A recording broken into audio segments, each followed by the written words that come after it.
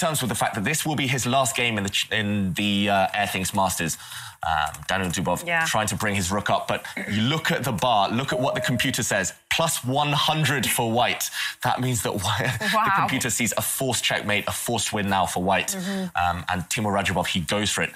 The black king is now the target, white's rook, zooming up to the top of the board, eyeing up the black king across that top rank.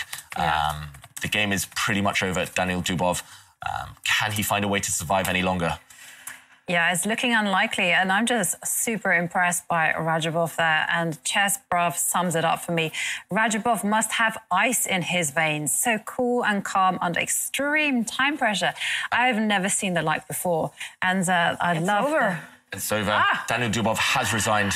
It is all over. Not only this game, the semi-final match between these two, it's over. Daniil Dubov, he's out. Teimour Radjabov is heading to the Airthings Masters final.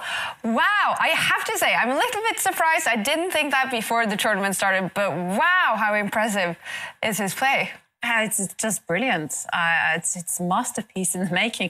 To love this game, you know, I didn't expect it. All these very unusual maneuvers that he made, the, the kind of wait and see game, and then suddenly he pounced, and that's it. Uh, Dubov was helpless. And Dubov, well, we see he's uh, disappointed, but uh, not much to read out of Teimour Radjabov. It's not easy to see if he's probably inside David. He must be so excited.